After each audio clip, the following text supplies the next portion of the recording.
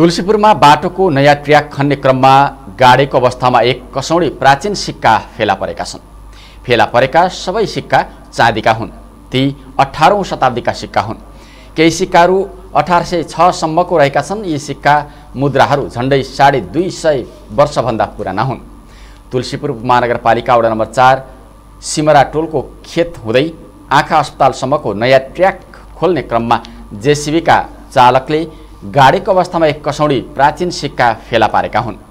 इलाका प्रहरी कार्यालय तुलसीपुरका प्रहरी निरीक्षक बखत बहादुर शाहीले पाँच सय सैँतिसवटा सिक्का फेला परेको बताउनुभयो। सिमरा टोल भन्ने ठाउँमा चाहिँ खेतमा नयाँ ट्र्याक खन्ने क्रममा नयाँ बाटोको ट्र्याक खन्ने क्रममा भेटाउनु भएको रहेछ। त्यसपछि अर्को? यो हामीसँग चाहिँ टोटल अहिले पाँच सय हाम्रो दादाजीज्यूहरूको सबै कुरोहरू हामीले काउन्ट गर्दाखेरि पाँच सय सैँतिसवटा चाहिँ सिक्का देखिएको छ। त्यसमध्ये छ्यात्तरवटा चाहिँ इन्डियन सिक्काहरू देखिएको छ। त्यसमा चाहिँ इन्डियन वान रुपिस इन्डियन लेखाएको छ। त्यसमा चाहिँ त्यो पहिला चाहिँ सायद त्यो ब्रिटिसको पालाको सिक्काहरू हो कि जस्तो लागेको छ ब्रिटिसको अनि अर्को चार सय एकसट्ठीवटा नेपाली सिक्का श्रीतिन लेखेको नेपाली सिक्काहरू भेटेको छ। श्री तिन त्यसमा नाम लेखेको छ? त्यसमा नाम छैन श्रीतिन लेखाएको छ।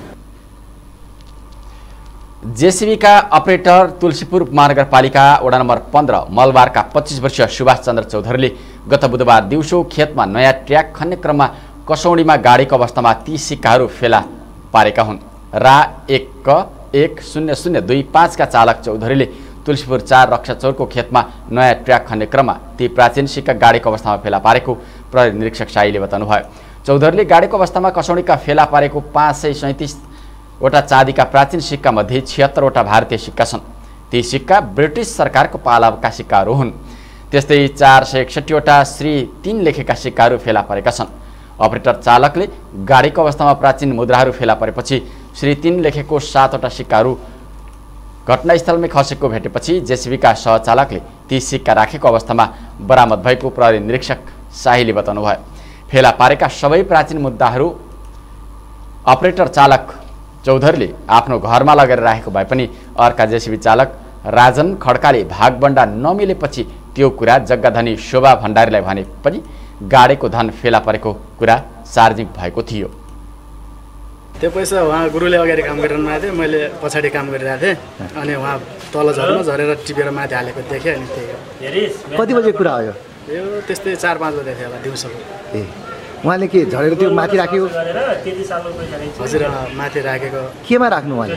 उहाँले पहिला त आफ्नो गाडीभित्र फाल्नु अनि पछि उसको खलासी सलाइसी आइसकेपछि उसले डिक्कीमा हाले अनि पछि के रहेछ त भने मैले उसको खलासी लाइन छोडेँ उसको खलासीले अब खै के हो फलामको डल्लो भन्ने कुरो? अनि खै के रहेछ त भनेर म आफ्नो मेसिन रोकेर पारी गरेर हेर्दाखेरि त्यही पैसा देखेँ त्यही। पैसा? तपाईँले पनि देख्नुभयो? हजुर देखेको। त्यसपछि के भागुना लगाउने कुरा अब तपाईँहरूको हजुर मैले भने कि मलाई दिने दिने प्रहरी निरीक्षक साईका अनुसार चौधरीले ती सिक्काहरू घरमा लगेको धातुको कसौडीको भाँडोबाट निकालेर छुट्टै एउटा पोलिथिनमा राखेको अवस्थामा फेला परेको बताउनुभयो। यी सबै सिक्काहरू झन्डै साढे दुई सय वर्ष पहिलेका हुन्। जेसिबीका चालक चौधरीलाई इलाका प्रहरी कार्यालय तुलसीपुरको थुनुवा कक्षमा राखिएको छ। जग्गाधनी भण्डारीले भने फेला पारेको गाडेको धन सार्वजनिक काम बाटोमै लगाउनु पर्ने माग गर्नुभएको छ। मेरो खेतमा डोजर लाउँदा लाउँदै भेट्यो। अनि यी ड्राइभरले अर्को ड्राइभरले डोजर देखेर त्यहाँ हेर्न जानुभयो देख्दा अब उहाँ गएर बट्टा लाउँला भने भोरी थियो अरे। टन्नै भोरी थियो अरे। ओइलो पिँदामा छ। पैसा अनि- लाग्यो? पैसा बेटा भनेर त हामीलाई लागेन यहाँले पैसा लुकायो भन्ने तपाईँलाई पैसा लुगायो भने मलाई सोरानी लाऊ भोरी ओइलो पिँदामा छ भने क्या नलाओस् त्यो। अनि पैसा त।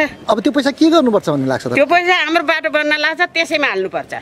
कहाँको बा उहाँले एक कसौडीभरि धन फेला परेको कुरा सुनेको भए पनि पिँचसम्म मात्रै गाडेको धन चौधरीको घरबाट बरामद भएको हुँदा थप अनुसन्धान गरी सत्य कुरा सार्वजनिक गर्न समेत माग गर्नुभयो।